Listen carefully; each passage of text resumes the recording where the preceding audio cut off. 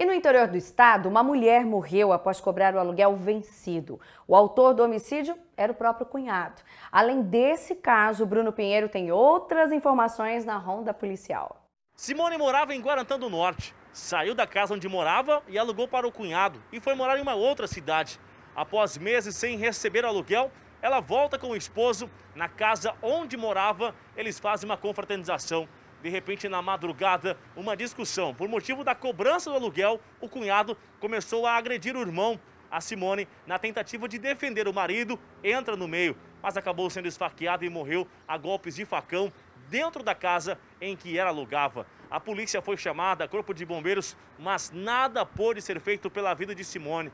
Horas depois, o cunhado acabou foragindo. Durante esta madrugada, a polícia encontrou o homem que matou Simone pelo motivo da cobrança de aluguel. A polícia quer saber se ele realmente estava arquitetando essa confusão, um desentendimento dentro da casa da família.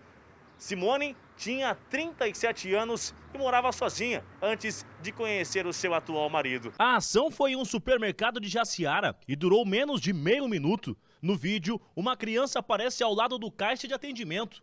Após a criança entrar no estabelecimento, dois homens armados chegam anunciando o assalto. A criança assiste de perto toda a movimentação. Ao lado de fora, um terceiro criminoso dava apoio. Na fuga, os homens levaram todo o dinheiro que estava no caixa.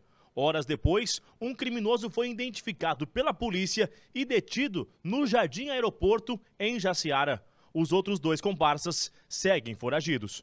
Ainda na região norte do estado, a polícia investiga uma ação criminosa.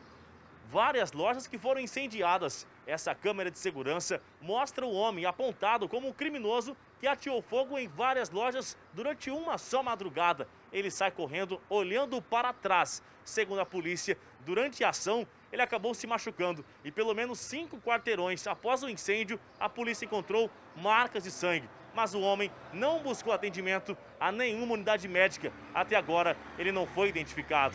Esse estabelecimento ficou totalmente destruído após o incêndio. A polícia investiga se o homem agiu sozinho ou se outra pessoa deu apoio durante a estação na madrugada que assusta a área comercial do município de Itapurá. São essas as informações do setor policial do interior do estado. Camila.